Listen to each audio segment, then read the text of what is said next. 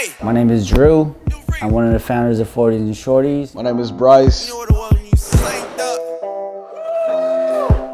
That way, 500. That way. Yeah, that- My bitch too I got all kinds of videos. I don't need her. Pull a drop top with an eater. Two seaters. How you doing? We started out with accessories and I was thinking like, this is funny stuff that we like. I could bring this on tour with me, along with the merch of the artists I was going on tour with. Her. Pull a drop top with an eater. Two seaters. New bitch wanna fuck in my AP. New freezer.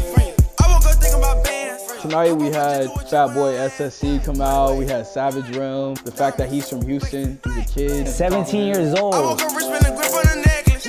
I put the plug on three-way. Maserati go speed